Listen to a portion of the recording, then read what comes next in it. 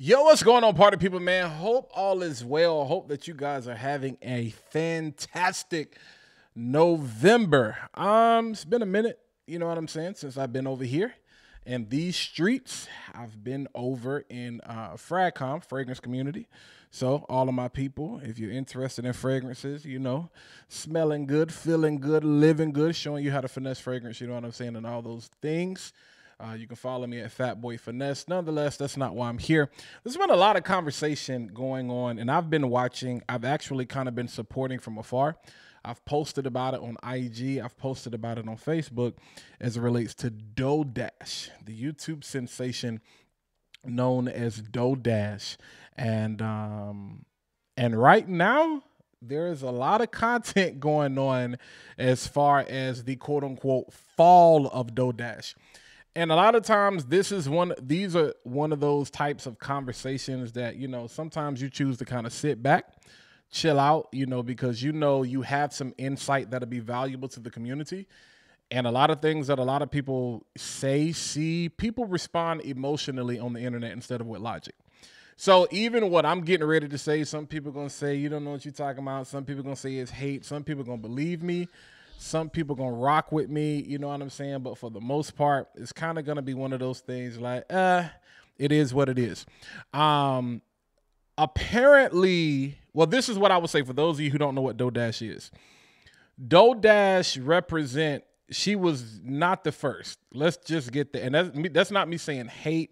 That's me providing clarity because I know a lot of you are coming from Instagram. You're coming from TikTok. Number one, you're coming over here because you're finding out YouTube pays more money in their ad revenue sharing program. Um, but you're coming to YouTube, and a lot of people are starting YouTube channels, and so you're seeing content from new faces, leaders of the new school. But there's been a trend going on since the pandemic, the past several years, where people don't want to see over edited content. People want to see what we consider to be authentic, real, just give me what you got for a pork chop type of content. Don't sell me on all this fancy editing, this, that, and the third. I myself have done a lot of product reviews on this channel, talked about several different things, and there's a certain level of quality that comes with that even me being on camera talking on this microphone right now might rub some people the wrong way. But those of you who know that know when I got started, I got started on this device right here, and I still post a lot of content actually using my phone. But I've been blessed. God has blessed me to have a setup like this, so I use a setup. I use it. you know what I'm saying? But um, one of the issues that I see is that people not just Dough Dash, but one of the trends that we've been seeing with a lot of YouTubers over the past couple of years who have quit, you know, who are quote unquote burned out. Um, a lot of you may be familiar with my one of my more popular videos where I talked about quote unquote kind of the fall of Think Media or what's wrong with Think Media in relation to is YouTube broken. And my standpoint is it's not so much that YouTube is broken, it's not so much that Think Media was broken, it's not so much that Dough Dash is broken or this is the fall of Dough Dash, and I'm going to speak on that in a second, is that the expectations of people are changing. But here's the one thing you got to keep in mind the change is a trend in itself. Because at one point when YouTube first started, it was just posting content. Hold on, I'll be right back.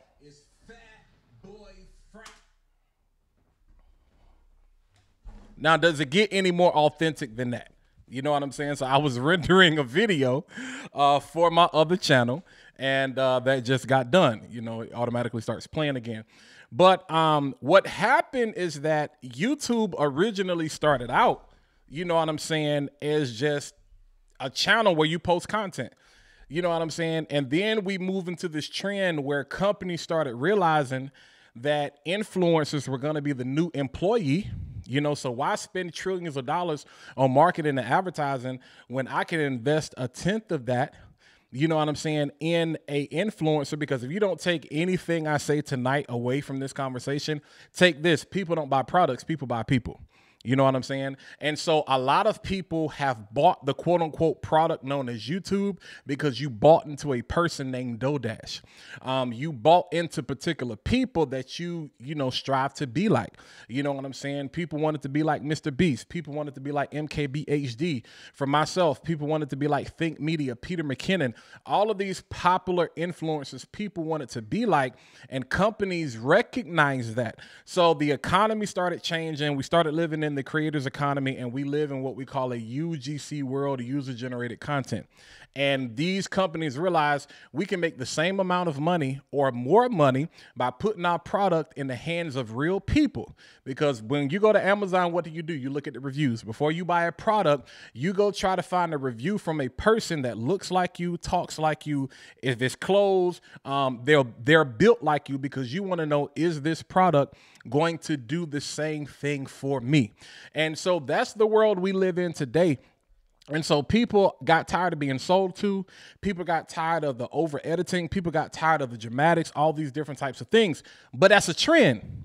Because here's the thing it everything is a cycle. There's nothing new under the sun. So we will get back to a time in a couple of years where people have gotten tired of the free organic content and just showing up and people will go back to editing and then people will go back to the Mr. Beast style type of editing and then we'll be back here again. It's the same thing with music. It's the same thing with cars. It's the same thing with food.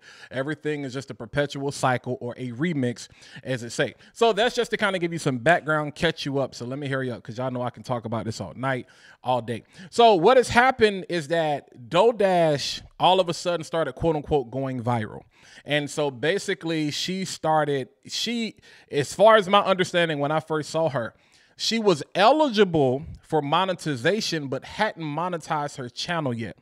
So she says, because to me, if you've been doing this YouTube thing for a while, you kind of know what's going on. And so she was eligible for monetization and she decided to go ahead and monetize her channel. And she posted a video about monetizing her channel and something happened, which happens to a lot of different people. And let me not say a lot, a lot is subjective. It happens to several different people where you get, quote unquote, listen to what I'm about to say, you get lucky or your timing is perfect. You actually talk about a topic at the right time. You talk about a topic at the right time that's trending and it takes off. Now, I'm that alliteration is intentional. I'm doing it on purpose because I want you to catch what I'm saying. Because she started um, a couple of things she did that I didn't. What is going on? Turn the whole review for you today for those you who are I told y'all it does not get more authentic than that. I'm not editing any of that out. Um, and so there are a couple of things that happen that I kind of raised an eyebrow at, even at showing, you know, supporting from afar and sharing her videos with my community. Number one, you never put all your eggs in one basket. That's number one. So she was talking about she was going to quit. That's not smart. Because if you quit, this money depends on people. And if and when, listen to what I'm saying, if and when, not or, if and when people turn or change on you, it's not the algorithm that changes on you. A lot of y'all are trying to figure out um, why are people not seeing my content. Can I can I be honest with you? Because it's just not good. Your audience don't want to see it. That that I, I I don't I don't. Never mind. We'll get to that later. But if and when people change on you, your views are going to be different. Your views are going to be different. Your CPM or your RPM is going to be different. Some of y'all like, what's the CPM, RPM? When she's talking about how much money she's made from AdSense, basically what happens is there are certain advertisers that are in the Google that are in partnership with Google, which is you know which is literally the ABC company is the parent company that owns Google that owns YouTube, and so they're in partnership together really they funneling money amongst themselves. It's kind of crazy. They're getting all kind of tax write-offs for that. And so what happens is, if you're part of the YouTube uh, partnership program, what happens is they say, okay, for every 1,000 views you get, we will give you so much money. Now, here's what people weren't talking about when it came to her. Dough Dash started posting videos four years ago. So she didn't just catch fire, she already had a base. And she was getting some views in around around 2021, 2022. What was happening around this time? The pandemic. A lot of people had left their jobs. A lot of people were trying to figure out ways to make money without returning back to the office. What is one of the quickest and easiest ways to do that? Food delivery. Either you're doing food delivery or you were doing grocery pickup with Instacart or some of y'all started doing Amazon Flex. So guess what people were doing? They were on the internet searching for content on Do, you know, I'm about to say Do dashing, door dashing. Well, guess whose content is going to come to the forefront? Hers was. Now, here's where I'm conflicting. And I'm just talking. I'm not talking, I'm not downgrading, I'm not degrading. I know some of y'all get emotional, but I'm literally just talking, telling you the story, giving you background information. Here's what bewilders me. I said bewildering in a YouTube video. Here's what bewilders me. And I got to fix this chair. Y'all, excuse me. Here's what bewilders me and bothers me a little bit during that period in 2022 when she was making a run, I've done my homework. Um, she said she was making money. She was averaging thirteen to fifteen hundred dollars a week. All right, now y'all, I went to public school, so I'm not good at math. But that fifteen hundred dollars a week, I know fifteen times twelve. You know, I know what that number looks like. So we talking sixty. You know what I'm saying? Well, let me that that number ain't right. A week, not a month. So see, I told you I went to public school, not good at math. Fifteen hundred dollars a week times fifty-two weeks in the year. Let's just say, you know, we're gonna make some adjustments there. But she's averaging, if she averages, let's just say 15, she said 13 to 15, that's $78,000 a year. And then she had another video where she said she was averaging like eight to eleven hundred dollars per in tips per week. Now, correct me either week or a month. Either way, let's throw the tips out. So if you're averaging thirteen to fifteen hundred dollars a week, and you're making somewhere between sixty and seventy-eight thousand dollars before taxes, what happened? How do we get to this point where it's this woe is me type of you know, all my life I had to fight type of mentality where it's like, yo, I've had to work hard all of my life. Because a couple of years ago, you was making all of that money. But again, that was when the world was slow. Now the world is back up to speed. So you can tell she kind of takes a break, comes back, starts posting content again. You know what I'm saying? And then it's like, you know, it's like, you know, she something happened, something changed because she kind of took a break, stopped making content, and then she started to come back around 2023. And then it was really this year, I want to say around June, July, August, this year is when it took off. Now, I'm skipping around because I just saw a video where somebody, where people are commenting because I guess she's selling a quote unquote her strategy now for like $20. And then people is like, yeah, that's a scam because there's no strategy strategy to YouTube. Broke people say that. People that don't have any viewers, any subscribers, all you do is consume content and watch other people's stuff, and you ain't never got a check from Google. You ain't never got a check from any platform. Say the stupidest stuff and say there is no strategy to YouTube. All you got to do is stay consistent. Do you know I know people that's been staying consistent for five years and they might have 500 subscribers? So, what does consistency get you if your content sucks? Please answer that for me. Because y'all want people to be soft and hold your hand and babysit and be like, yeah, you're one video away. Yeah, you got to stay consistent. Yeah, I'm going to support you. Yeah, I'm going to. No, you're not. Here's what bothered me with the trend. If you're over 40, get on YouTube. If you're over 50, get on YouTube. That's cool. But what are you going to talk about that's going to keep me coming back and watching? Because here's the thing all of, a lot of you can attest to this and you've experienced this. The initial push, because this this goes back to the days of IG, follow for follow. If you like me, I'll like you. If you follow me, I'll follow you. If you subscribe to my channel, I'll subscribe to your channel. But here's the thing if your content sucks? Who do you think is going if you make one video a week? If Friday is my video, if my one video to make for the week. If Friday night, we've been working all week. Folks want to go out, folks want to chill. You think I'm gonna come on YouTube when I could be doing a thousand other different things and watch you and your content sucks? Let's just keep that 100. So I, I, just had to get that off my chest because everybody want to talk about everything. Be consistent. No, how about you make good content? How about you make something that people want to talk about? How about you make something that people are interested in? How about you make something that get people in the comments talking about more than y'all be encouraged? I got 20 subscribers today. Keep going. If if was a fifth, we all be drunk. Everybody is consistent. Everybody keeps going but your content gotta be good. This is not football, basketball, where you just watch for the love of the sport. No. If you want to watch people, you want to be entertained or you want to be educated or you want to be informed.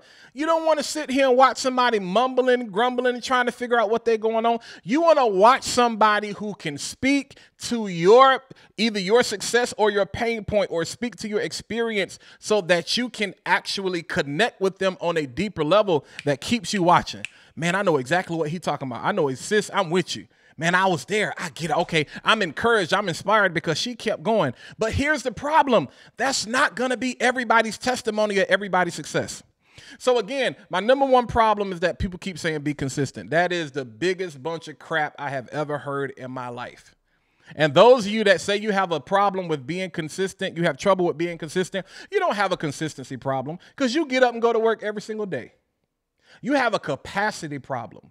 And capacity deals with your intent and what you care about and your priorities. Anything that's a priority in your life, you are consistent at. Like I said, you go to a job every day you don't hate. I got to go to a job. It's a priority. If you started looking at content like that, like I got to post this video today, you'd be more consistent and you'd find ways to have the capacity. Because whether you're tired or not you got to get up and be a mom. You got to get up and be a dad. You got to get up there and go to school and teach these bad kids that you can't stand and want to slap every single day. Because you've already told yourself this is what i got to do. It's the same thing when it comes to content creation. For some people it's not that deep. For other people it is. You know what I'm saying? So she makes this strategy, and y'all in the comments talking about some ain't no strategy to YouTube. Stupidest thing I ever heard in my life. YouTube, here's here's her strategy. Here, you you want to know what Dough Dash's strategy is? I'm gonna tell you what Dough Dash's strategy is. Dough Dash's strategy is that she started talking about a topic at the right time. Y'all sign up for these seminars, y'all buy these ebooks, you take these master classes. I have master classes, I have ebooks. But I try to talk about things that are realistic, that are tangible, that are attainable, that other people don't talk about. And one of the things I don't tell you is be consistent because, duh, that's like saying don't breathe. Of course, if you want to be successful, you got to be consistent. And being consistent looks different for everybody. Being consistent don't mean you got to post every day. If you can only post one time a week, be consistent. If you can only post every other week, be consistent. If you can only post one time a month, that better be the best video ever known to mankind, but post your one time a month. That's what being consistent is about. What do you have the capacity to do on a regular basis that brings you peace and helps you go to sleep at night and satisfies your audience seeing you? That's consistency. But that's again, that that that's duh. That's that's that's eating, sleeping, drinking, and breathing. Those, those are the basics. That shouldn't even be a, a, a strategy or recommendation. But the strategy is she has all of y'all talking about her. That's not going to happen for everybody. Every if everybody could go viral, Dough Dash would be like nobody. Like, come on now. That's the strategy. Timeless, trending, tangible topics. I'm going to say it again. Timeless, trending. Because here's the thing Wait, Walt. Timeless means it lasts beyond the trend. But is the trend timeless? What what is a timeless trend? What is a trend that never gets old? Being the topic of conversation, being polarizing. Somebody got a video talking about being tripolar. And I'm I'm gonna be honest with you because my first problem was she quit her job. You never put all your eggs in one basket. Number two, now you're depending on the platform. It ain't even your platform. That's my second problem. Number three, y'all, I got a problem with people that get on camera and start crying. Or they have these reactions. And my and my and my question is at what point did you have the wherewithal to stop crying and say, "Oh, let me hit record"? I don't like stuff like that. I don't like because we don't you you're you're not that type of person where you have the camera rolling all day all day. Now you may say, okay, I get home from work, I'm gonna come in the house. I know I got some reaction videos to do.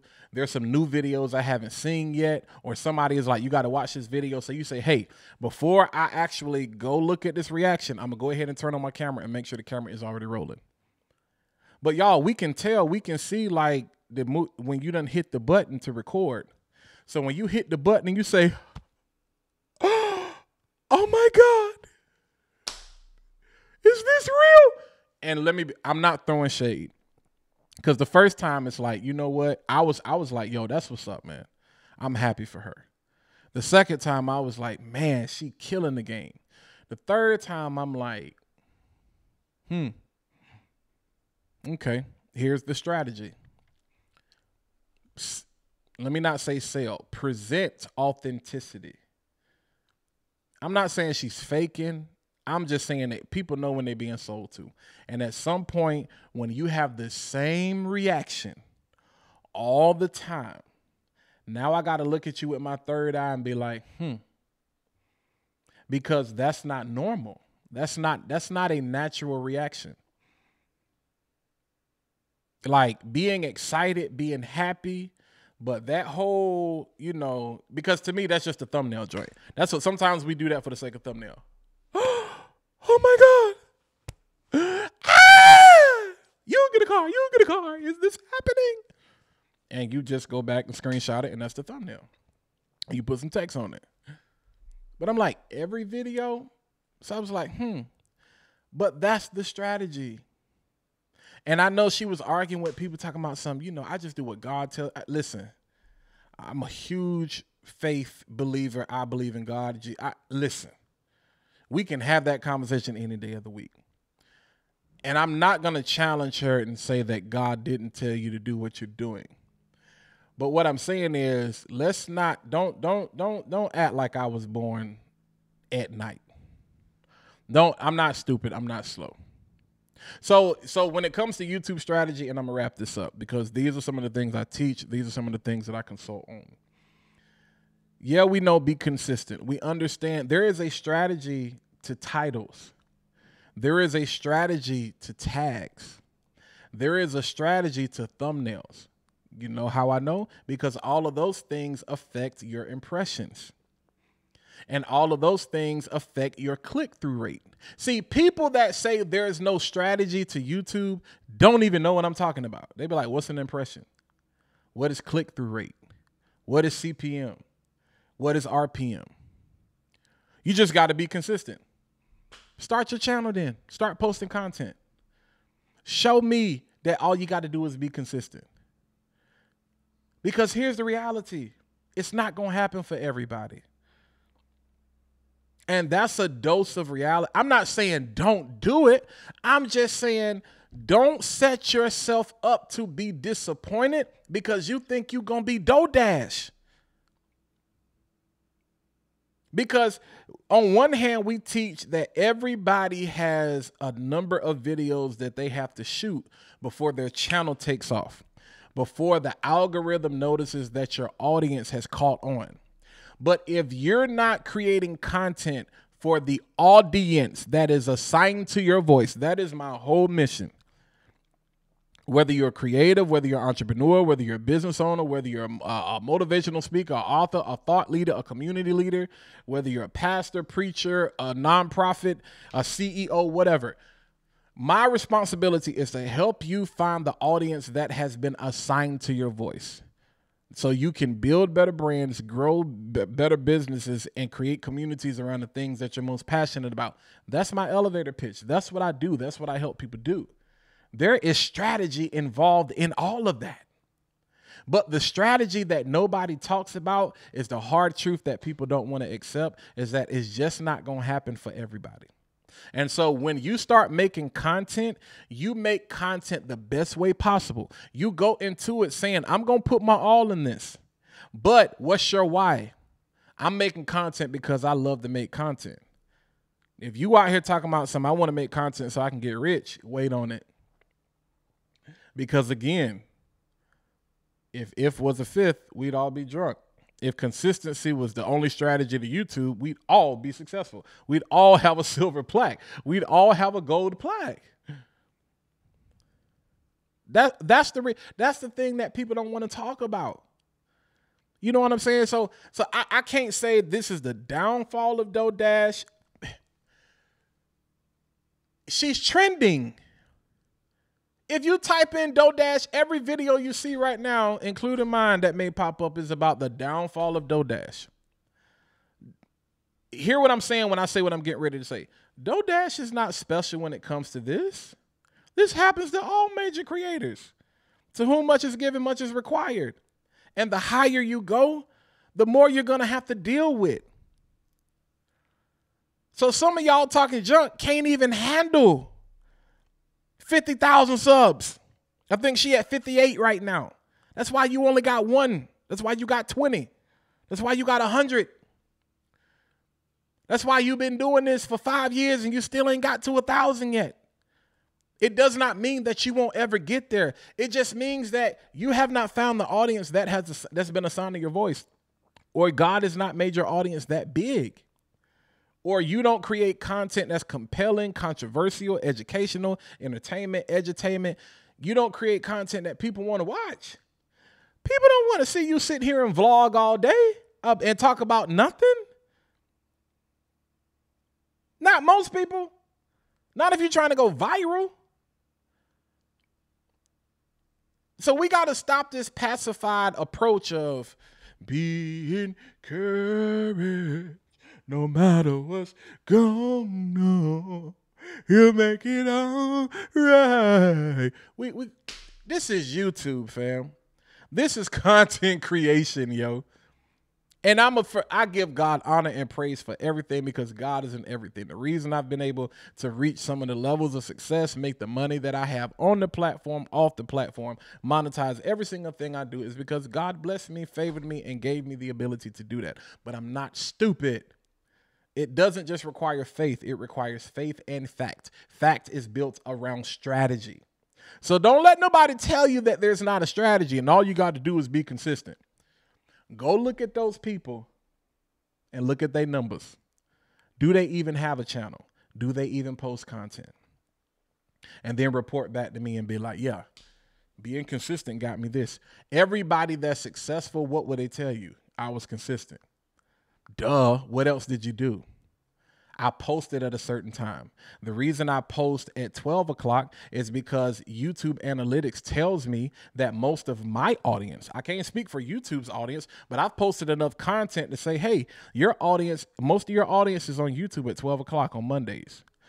And then they'll say, so the best time for you to post on Monday is at this time. The best day for you to the best time for you to post on Tuesday is this time. The best day, the best time for you to post on Wednesday, Thursday, Friday, Saturday, Sunday, Monday, Monday, Tuesday, Wednesday, Thursday, Friday, Saturday is at this time. And then they'll say, overall, out of all of those days, if you only post one time a day, this is the day that's optimized for your channel that the most people are going to see your content. And even then, it's still not a guarantee